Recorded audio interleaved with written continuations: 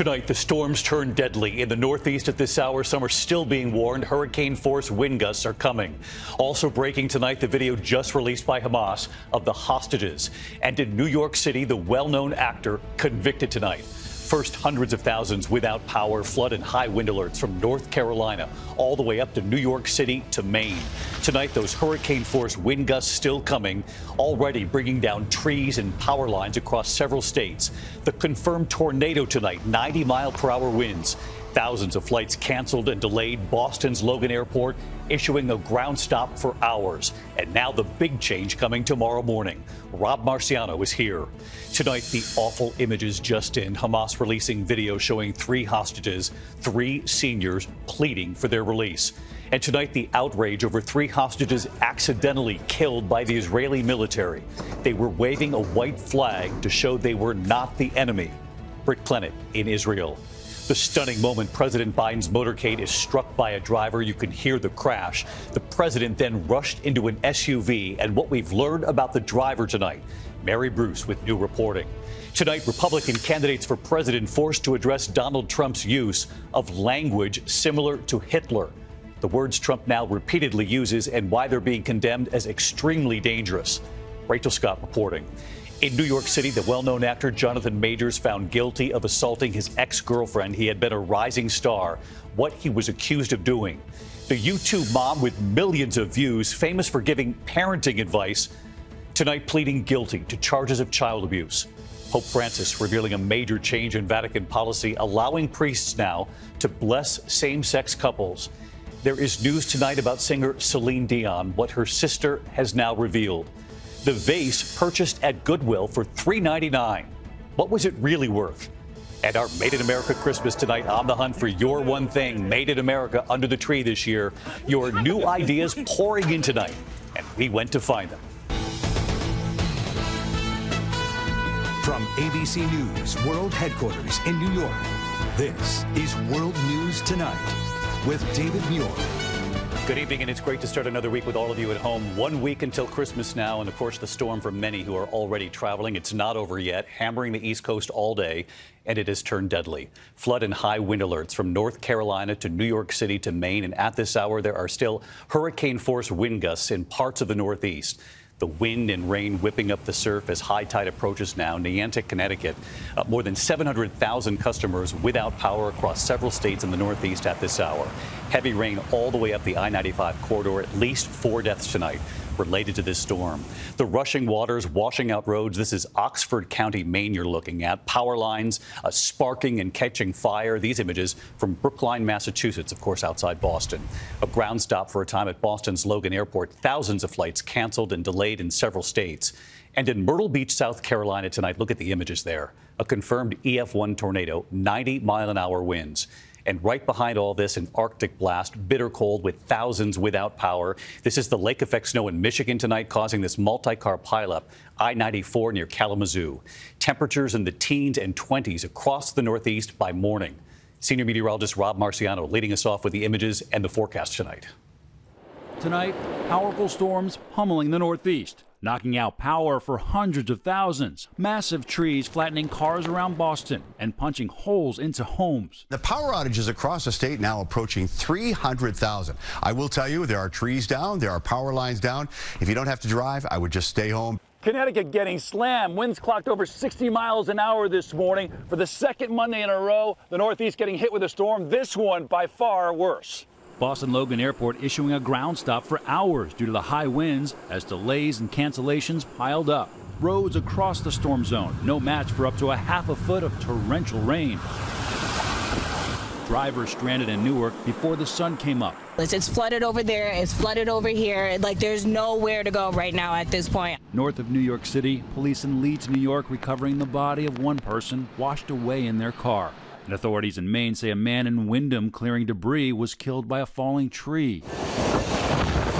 The storms slamming the Carolinas with up to 16 inches of rain. He's floating. Uh oh. Cars floating downstream in Charleston. Home surveillance cameras catching the moment a confirmed EF1 tornado blew through Myrtle Beach. This shopping center taking a direct hit from 90 mile per hour winds. And in Wake County, North Carolina, authorities say two people were killed on Interstate 87 Sunday after they stopped to help another motorist who hydroplaned off the road. The backside of the system even ramping up lake effect snow in Michigan, multiple pileups, and several people hurt along I 94 near Kalamazoo late today. Incredible pictures coming in tonight. Let's get right to Rob. Back with us tonight. Not over yet, of course, as you pointed out, Rob. The bitter cold behind all this as well. So uh, take us through it. Yeah, still a very dynamic, explosive storm in December, David. You're right, it's not over yet. The low itself, I'll show you on the radar, is pushing most of the moisture now up through northern New England. Maine, you're in that low level jet. That's where the hurricane force winds could happen through midnight. And you saw the, what the cold air is doing behind it. We got winter storm warnings up, lee of the Great Lakes for lake effect snow. That cold core is going all the way down into the deep south. Birmingham and Nashville will be in the teens for, for wind chills in the morning. And we're watching two storms coming into the west. Storm number one comes in tonight. That's a weak one. Storm number two, that's stronger. That kind of arrives on Wednesday and then slides to the south. This is going to be a longer duration event, so hopefully no flooding. But look at some of these numbers here. The computer models are pumping out one to four inches of rain, maybe five. That could cause some flooding. Certainly not ideal travel weather heading into Christmas weekend. David? That is for sure. All right, Rob Marciano leading us off here on a Monday night. Rob, thank you. We're going to turn now to the harrowing images just in tonight. Hamas now releasing images showing three hostages, three seniors pleading for their release as we learn new details of the three hostages accidentally killed by the Israeli military. They were waving a white flag to show they were not the enemy. U.S. Defense Secretary Austin in Israel urging them to move from high intensity tactics to a fight that will save lives. ABC's Britt Clennett in Israel again tonight. Tonight, three elderly Israeli hostages pleading for their release in this new Hamas video. The families of 85 year old Amiram Cooper, 79 year old Chaim Peri, and 80 year old Yoram Metzger asking that we only use a still from the video. It's taking too long, and every minute that passing, it, it's, a, it's a huge gambling on my grandpa's life and others' lives. The IDF calling it a criminal terror video, vowing to bring the more than 100 hostages, including Americans, back home. The IDF now saying its rules of engagement weren't followed when Israeli soldiers mistakenly killed three hostages in Gaza. A preliminary report finding Yotam Haim, Alon Shamriz, and Samer Al Talalka were shirtless, waving a white flag, when a soldier shot and killed two of them. Someone was heard crying help in Hebrew. Troops then ordered to stop firing, but the third hostage was shot and killed shortly after. Israel finding these signs near a nearby building where those hostages were believed to have been hiding. One reading SOS, apparently made out of leftover food. Families fearing their relatives held in Gaza could be next. This is a possibility that Israeli soldiers might accidentally kill hostages. Now, what we feared finally happened, and we feel we're very worried that this is going to happen again. In Gaza, chaos inside the children's ward of a hospital. Moments after an Israeli artillery strike. Rescuers finding the body of 12 year old Dunya, who was recently orphaned and lost her leg in another strike. Just weeks ago, while recovering, Dunya saying, I only want one thing for the war to end. And with the Gaza death toll soaring above 19,000, Israel facing growing pressure to shift strategy. Secretary of Defense Lloyd Austin continuing to urge Israel to move quickly from high intensity operations to more surgical, targeted strikes on Hamas in Gaza. So let's bring in Britt Clennett. She's live in Israel tonight. Britt, I wanted to turn to the growing threat also to ships in the Red Sea. We've been reporting on this here. Iran backed Houthi rebels attacking yet another vessel overnight. I understand now the U.S. and other nations are joining forces to try to counter this ongoing threat. That's right, David. The Defence Secretary tonight uh, announcing a new maritime task force to make sure that critical route is safe. Uh, the attacks already causing major economic disruption, sending oil prices surging and prompting some shipping companies to pause operations. David. Britt Clennett, live in Tel Aviv. Britt, thank you. Back here in the U.S. tonight into the security scare involving President Biden, a driver slamming into an SUV that was part of the president's motorcade. You could hear the sound of the crash, the Secret Service then rushing the president into his car, the First Lady already in the car. And tonight, here, what we've learned about the driver. Here's Mary Bruce. Tonight, authorities investigating this frightening moment. President Biden leaving his campaign headquarters in Wilmington, stopping to answer a reporter's question. Mr. President, why are you losing to Trump in the polls? And then suddenly, the sound of a crash. The president stopping in his tracks. The Secret Service then rushing him into his SUV, the First Lady already inside. Reporters on the scene scrambling to see what happened. This car had slammed into a vehicle that was part of the president's motorcade. The driver surrounded. Authorities tonight calling it an accident, saying the driver was drunk. That driver has now been charged with driving under the influence and inattentive driving. And tonight we're told the president and first lady are doing fine. David. All right, Mary Bruce at the White House. Mary, thank you. We turn now to the race for the White House and former President Trump campaigning in New Hampshire again using language uh, echoing Hitler. Tonight, his Republican rivals have been forced to address this, the words being condemned as very dangerous, given how they were used in recent history. Here's Rachel Scott. Tonight, the Republican candidates for president forced to address Donald Trump's use of language similar to what Adolf Hitler once wrote. Trump declaring immigrants are poisoning the blood of America. They're poisoning the blood of our country. That's what they've done. They poison mental institutions and prisons all over the world, not just in South America, not just the three or four countries that we think about, but all over the world. They're coming into our country from Africa, from Asia, all over the world. They're pouring into our country. Only one of Trump's leading Republican rivals denouncing him, New Jersey Governor Chris Christie. What he's doing is dog whistling to Americans who feel absolutely under stress and strain from the economy and from the conflicts around the world. And he's dog whistling it to blame it on people from areas that don't look like us. In Iowa today, Florida Governor Ron DeSantis refusing to criticize Trump for using language reminiscent of Hitler, instead calling it a tactical mistake. So here's the thing uh, this border is such a disaster to give them an ability, the opposition an ability to try to make it about something else with, with some of those comments, I just think it's, it's just a tactical mistake. Why are we in a situation where we're even having those discussions? South Carolina Governor Nikki Haley often speaks of her experience as a daughter of immigrants. My parents came to an America that was strong and proud and full of opportunities. She didn't mention Trump's comments that immigrants are poisoning the blood of the nation. Her campaign instead releasing this statement saying we need to shut down the border. We don't need chaotic rhetoric that fails to get the job done. DeSantis calls this a tactical mistake, but clearly Trump does not think so. He has used that phrase repeatedly on the campaign trail. He is now leading his Republican rivals by 50 points. The Biden campaign releasing a statement saying Trump is channeling his role models by parroting Hitler and is threatening democracy. David. Rachel Scott on the campaign trail tonight. Rachel, thank you. Here in New York City tonight, actor Jonathan Majors has been found guilty of assaulting his ex girlfriend. He was a rising star, now convicted tonight. Here's our senior investigative correspondent, Aaron Katersky. You're an interesting man. Tonight, actor Jonathan Majors, once a rising star in the Marvel Universe, convicted of domestic violence. A jury in New York finding him guilty of assaulting his then girlfriend, Grace Jabbari. The two were in an SUV back in March when a message from another woman popped up on his phone saying, I wish I was kissing you.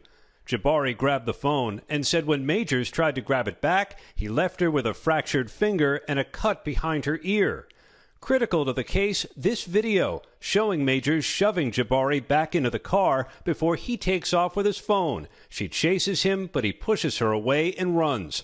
Majors later calling 911 after finding Jabbari passed out on the floor of their apartment. What happened exactly? Do you know? No, I don't know. Um, uh, but she's unconscious. The jury found Majors did not intentionally assault Jabbari, acquitting him of two counts, but determined he acted recklessly, convicting him of two other misdemeanors. Majors now faces up to a year in prison when he's sentenced in February. He's unlikely to serve that, but tonight, David, he has learned of a career consequence of the conviction. Our parent company, Disney, says Marvel will no longer be going forward with Jonathan Majors. David. Aaron Katersky here in New York tonight. Aaron, thank you. Tonight, a major change from the Vatican. Pope Francis formally allowing Catholic priests to bless same sex couples. The new declaration saying God's love and mercy should not be subject to, quote, an exhaustive moral analysis. There are conditions, though. These blessings are not to be confused with the sacrament of marriage or performed at the same time as a civil ceremony. When we come back on a Monday night, the YouTube mom, famous for giving parenting advice millions of views, now pleading guilty to charges of child abuse tonight. Also, there's news on gas prices for the holiday and news on Celine Dion tonight. But her sister is now revealing. Tonight, the mother giving parenting advice viewed by millions on YouTube, now pleading guilty to charges of child abuse in Washington County, Utah. Prosecutors accusing Ruby Franke and business partner Jodi Hildebrandt of abusing and starving two of Franke's six children. Authorities say the children were bound and malnourished at Hildebrandt's home. As part of her deal, Frankie will now testify against Hildebrandt. To travel this holiday, and tonight Southwest Airlines has been hit with a record $140 million fine for last year's scheduling meltdown, you'll remember, over the holidays. Nearly 17,000 flights were canceled, stranding more than 2 million passengers. The Department of Transportation says the airline did not provide adequate customer service, notifications, or prompt refunds. Southwest must now provide $75 flight credits to future passengers whose flights are delayed more than three hours when the airline is at fault. When we come back here tonight, news this evening about Celine Dion and the vase bought at Goodwill for $3.99. What that vase was really worth. To the index tonight, Celine Dion's sister is sharing more about her sister's battle with stiff person syndrome. Her sister giving an interview in Canada saying Celine no longer has control over her muscles. The condition, an incurable neurological disorder, forced her to cancel her world tour last year. But her sister also saying Celine remains hopeful and still plans on one day returning to the stage, and we're rooting for her. Tonight, the hidden treasure in plain sight. Jessica Vincent bought a vase for $3.99 at the Goodwill store outside Richmond, Virginia. Later, finding out it's a rare piece of Murano glass designed for Venini by Italian architect Carlo Scarpa in the 1940s. It sold at auction for more than $107,000. Not bad for a $3.99 vase. When we come back, our Made in America Christmas, your ideas pouring in over the weekend. The new list tonight, in time for Christmas. Finally, tonight, we love it, our great Made in America Christmas. Tonight, something for everyone, including the family dog. Tonight, our great Made in America Christmas is back, our 12th year. The famous windows on Fifth Avenue on the hunt with so many of you. Do you think people check the labels as much as they used to? Maybe my age. you still do? I do. Christmas tonight, just one week away, but there's still time. Hey, David. Well, hi, David. In Waynesboro, Virginia, northwest of Richmond, the company Blanc Creatives. Hey, David. Owner Corey Blanc. Our flagship product is our carbon steel cookware you see on the wall behind me here. And more. Wooden utensils and cutting boards, cutlery, and even garden tools. The wood from Virginia trees. The medals from Virginia, Pennsylvania, Colorado, Texas. 10 workers in all. Hey, David. Christopher Knox, head of Cookware Productions. All of our products come with a lifetime guarantee, and they're meant to become the next generation of your family heirlooms. Made in America! And tonight in Pompano Beach, Florida, north of Fort Lauderdale, the company Popalicious. Hi, David. Owner Maria Bailey. It's popcorn freshly popped and grown in Missouri, Indiana, and Ohio. We top it with Pennsylvania chocolate 25 workers making 4,000 pops a day, two tons of popcorn during the holiday season. And we wanted to meet the farmers behind the corn. Hi, David. Meet Gavin Spoor from Spoor Farms in Martinsburg, Missouri. 600 acres of corn. Behind me here, you can see a field that was popcorn this previous summer. It's fun to watch a little seed turn into a large plant, which we then can harvest and clean and package and ship directly to people's doorsteps. Still in time for Christmas. In America! In Austin, Texas tonight, they're reminding us don't forget the other member of the family. Hi, David. Michael London and his company, Bow Wow Labs. Our mission is very simple, and that is to keep dogs safe, healthy, and happy. Their invention, the Bow Wow Buddy. Jonna Devereaux, Chief Nutritionist Officer. We invented the Bow Wow Buddy, a safety device that securely holds bully sticks and other chews. The Made in the USA Bow Wow Buddy allows your pup the ability to engage in their favorite activity, but safely. Here's how it works. Simply take the chew and insert it inside the hole and screw down. And that's it. The 12 week old labs testing them out. In Omaha, Nebraska. Hi, David. Melissa Stevens and her shop, The Cordial Cherry. Come on in. 15 workers hand dipping, hand decorating cherries. 500 boxes a day during the holiday season. Made in America! And finally, to Dallas, Texas, perhaps one of the last places you'd expect to see a snowman. Hi, David. Kate Weiser, owner of Kate Weiser Chocolate. This is our signature holiday product, Carl, the drinking chocolate snowman. Uh, he's basically a giant cocoa bomb that you put in a big pot of milk, gather your friends and family around the stove, watch him melt into delicious hot cocoa. 71 workers, 80,000 snowmen this year. I'm here with our shipping manager, Sade, and we send out about 2,000 packages a day during the holiday season, all going to different locations all over the United States, and it all happens right here. Made in America! And tomorrow night, right here, some last minute ideas as we celebrate our small businesses. I'll see you tomorrow. Good night. Thank you for making World News Tonight with David Muir, America's most watched newscast.